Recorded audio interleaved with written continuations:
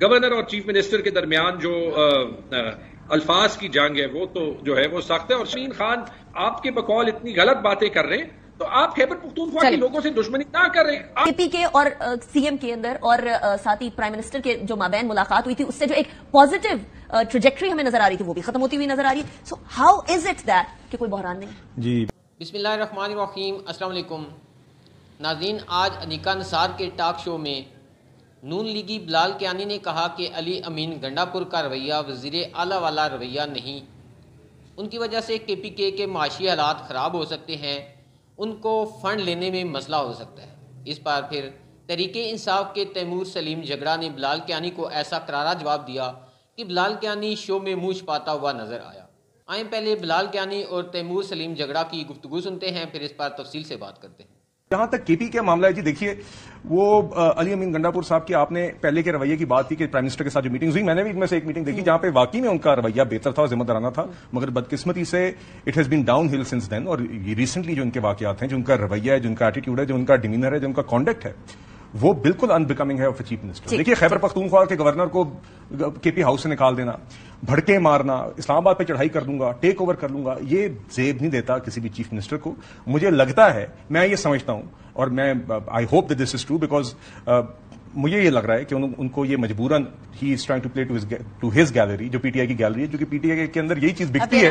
तो मुझे लगता है कि जब जब वो पहले एक दो दफ़ा मीटिंग्स में वाकई में थोड़ी सी शायद उनका बेहतर रवैया रहा है वफाक के साथ तो शायद इनकी जमात सिंह को इंटरनल प्रेशर आया। मैं इसलिए उम्मीद करता हूँ कि हकीकत यह है क्योंकि अगर हकीकत दूसरी है कि वो वाकई में ऐसा एक्ट कर रहे हैं तो वो ये बड़ी खतरनाक बात साहब एक तो ये बात कि सिर्फ़ अपीज करने की कोशिश करना पीटीआई के एक जनरल सेंटिमेंट को इसलिए अब सीएम केपीके का रवैया ये है। दूसरा गवर्नर साहब ने फैसल करीम खुंडी साहब ने एक बार फिर दावत दे दी है। गवर्नर हाउस में सीएम केपीके को क्या ये मिलकर केपीके के हुकूक की बात करते हैं? विफाक के साथ केपीके के जो राइट्स हैं उनको लेते हैं। अब आपके पास एक विफाक का नुमाइंदा आप लोगों की डिमांड्स को लेकर विफाक की तरफ़ जाना चाह रहे हैं और एक ऐसी जमात का जिसकी बुनियाद के ऊपर हुकूमत खड़ी हुई है। इस ऑफ़र को एक्सेप्ट किया जाएगा? देखिए ये तो अभी गवर्नमेंट का प्रोरोगेटिव है क्योंकि टेक्निकली मैं गवर्नमेंट का हिस्सा नहीं हूँ हम्म। तो it's hard for me to comment governor और चीफ मिनिस्टर के दरमियान जो अल्फाज की जंग है वो तो जो है वो सख्त है और शायद उसमें डीआई खान की पॉलिटिक्स भी आती है। लेकिन मैं अपना पॉइंट ऑफ़ व्यू एक दो चीज़ों पे देता हूँ पहली चीज़ ये मैं बिलाल से एग्री करता हूँ कि जो जिस तरीके से जरताज गुल वाला मामला जो सॉल्व हुआ हम्म। यही ब्लूप्रिंट है। वैसे ज़्यादा फ़र्क नहीं है।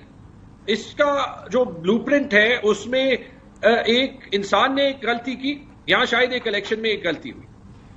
उसको मानने की बात है आगे जाने की बात है दोनों साइड्स को रिस्ट्रेंट दिखाने की बात है। अगर एक साइड से वेल हो इशू सॉल्व करने की तो दूसरा साइड भी पीछे हट जाएगा। बिल्कुल ये फिट आता है यहाँ। तो और और वहाँ पे मैं भी दोनों अपोजिशन और गवर्नमेंट को दाद देता हूँ कि उन्होंने सही स्पिरिट में ये सॉल्व किया। हम्म। पहली बात। दूसरी बात अगर आप ये देख लें 2024-25 के बजट का टाइम आ रहा है। हमारे वैसे ही वफाक और सूबों के दरमियान बजट के रवायात जो है वो फ़र्क वो गलत है।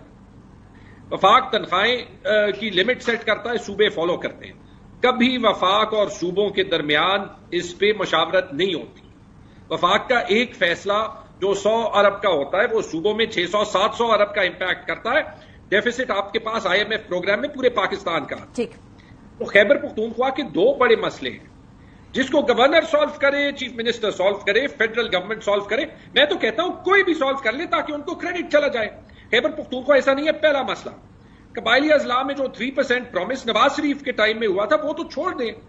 जो उनकी तनख्वाहों के अखराज है जो इस साल 116 अरब रुपए थे सड़सठ अरब रुपए दिए गए मतलब मेरे पिशावर के टैक्स के पैसे जो है वो वफाक की ज़िम्मेदारी कबायली अजला में भर रहे हैं। This is unconstitutional this is illegal आपने सत्तर साल कबायली अजला के लोगों को इग्नोर किया, अभी भी आप कर रहे हैं। और दूसरी बात जो एनएचपी की बात है, ये मुझे इसलिए पता है, ये मैंने शहबाज शरीफ साहब के साथ 2022 में उठाई थी, जब इनकी पहली गवर्नमेंट आई थी, उस दिन से एनएचपी बंद हुई है आज तक नहीं मिली। आप आप ही गुडविल दिखा देना, अगर अली अमीन खान आपके बकौल इतनी गलत बातें कर रहे हैं तो आप खैबर पुख्तूनख्वा के लोगों से दुश्मनी ना कर। रहे आप दिखा दें गुडविल अच्छा एक तो ये दुश्मनी वाली बात बार बार कही जा रही है ना कि विफाक के पी के से इस टाइम पर सौतेली माँ दुश्मनी इस तरह के अल्फाज इस्तेमाल किए जा रहे हैं। मतलब बहुत सख्त सेंटिमेंट्स हैं उधर या शायद सेंटिमेंट्स मजरू हो रहे हैं। जिस तरीके से मैटर रिजोल्व किया गया उस तरीके से who will be the person या बी द पार्टी जो कि पहल करेगी क्योंकि वहाँ तो स्पीकर साहब ने सॉल्व करवाया बहुत सारी चीज़ें। यहाँ तो कोई इंटरमीडिएट नहीं है ना। इंटरमीडिएट किसी टाइम पे इंस्टीट्यूट हुआ करते थे किसी टाइम पे सियासतदान हुआ करते थे देखिए बात ये देखिए पूरा पाकिस्तान जो है वो वज़ीर आज़म के लिए हमारी जमात के लिए सबके लिए बराबर है। ये बिल्कुल एक नॉन फैक्टर है कि पीटीआई की हुकूमत है खैबर पख्तूनख्वा में इसलिए कोई मुख्तलिफ़ रवैया होगा वफाकी हुकूमत का। मैं आपको एक मिसाल दे देता हूँ। आप सोलह माह की हुकूमत के अंदर देख लीजिए हमारी कौन सी हुकूमतें थी बलोचिस्तान में सिंध में जब सैलाब आए। ऊपर भी मुझे याद है लैंड स्लाइड या इस तरह के कुछ वाकत के पी में भी होते तो वजी अजम ने उसी तरह ही इंस्ट्रक्ट किया। उन्होंने जहाँ पर वफाकी सब्जेक्ट नहीं भी था वहाँ पर भी वफाकी वसाइल उन्होंने इस्तेमाल किए। मगर देखिए बिल्कुल it doesn't help the matter जब अली अमीन गंडापुर साहब उस तरह बातें करना शुरू करते हैं जिस तरह वो भी कर रहे हैं। बिकॉज़ अभी तो मुझे लग रहा है कि वो बस एक लुडो के बोर्ड लुटाने वाली बात है। इसका मतलब ये नहीं है कि वफाकी हुकूमत की कोई खैबर पख्तूनख्वा के मसाइल हल करने की जो नीयत है या जो कोशिश है उसमें कोई कमी आएगी। मगर I don't think it helps matters जब एक सूबे का चीफ मिनिस्टर जो सूबे का चीफ एग्जीक्यूटिव है वो इस तरह का एक डिस्ट्रक्टिव पाथ अडॉप्ट कर ले। मेरा ख्याल है जिस तरह का रवैया उनका महीने पहले था जो मुझे कुछ नज़र आया था वो करेंगे तो ओवरऑल हमारे सियासी टेम्परेचर में भी बेहतरी रहेगी। और साथ साथ ये जो वफाक और खैबर खैबर पख्तूनख्वा हुकूमत के दरमियान जो मामला हैं वो भी बेहतर अच्छा, तरीके से एक शॉर्ट प्ले करना है। अता तारा साहब की स्टेटमेंट है। वो मैंने प्ले करनी है क्योंकि किर्गिस्तान के मामले के ऊपर भी विफाक और पाकिस्तान तहरीक इंसाफ के हवाले से जो सोशल मीडिया के ऊपर कुछ चीज़ें चली हैं उस पर अता तारा साहब इन्फॉर्मेशन मिनिस्टर ने कुछ कहा है। वो सुने उसके बाद वेलकम बैक ये दो स्टूडेंट ग्रुपों के दरमियान क्लैश हुआ तो ये पाकिस्तानी स्टूडेंट्स का टारगेट नहीं थे। मगर एक सियासी जमात जो कभी आईएमएफ को लेटर लिखती है उनकी तरफ़ से मखसूस एक प्रोपागेंडा किया गया। बांग्लादेश का एक स्टूडेंट था उसकी तस्वीर लगा के कहा गया कि ये पाकिस्तान का स्टूडेंट है जो अल्लाह को प्यारा हो गया। अल्लाह ताला से डरे। ये हालात किसी भी, भी आ सकते हैं। इस सिचुएशन को सियासी पॉइंट स्कोरिंग के लिए इस्तेमाल करना हुकूमत को नीचे दिखाएँ तो हई अफसोसनाक है। जितनी मजम्मत की जाए काम में हर पाकिस्तानी शहरी की हिफाजत। इस हुकूमत के जिम्मे साहब डायरेक्ट पीटीआई के ऊपर इस टाइम पर ब्लेम लगाया इन्फॉर्मेशन मिनिस्टर ने कि वो जमात जो आईएमएफ को लेटर लिखती है वो इस टाइम पर सोशल मीडिया मुहिम भी चला रही है। गलत खबरें फैला रही है। ऐसे पहले तो बिलाल साहब की लॉजिक इस्तेमाल करते हुए मैं उन्हीं वर्ड्स को रिपीट करता हूँ। I don't think it helps matters जब पॉलिटिकल पोलराइजेशन में वफाकी इंफॉर्मेशन मिनिस्टर बगैर सबूत के एक पार्टी पे इल्ज़ाम लगाए और वो वही पार्टी हो जो इलेक्शन जीत चुकी हो और जिसके अगेंस्ट जो है वो आप सत्रह सीट लेके हुकूमत लें। और फिर इन बयान से आप जो है वो मॉरल सुप्रेमेसी एस्टेब्लिश करने की कोशिश करें। पहली बात।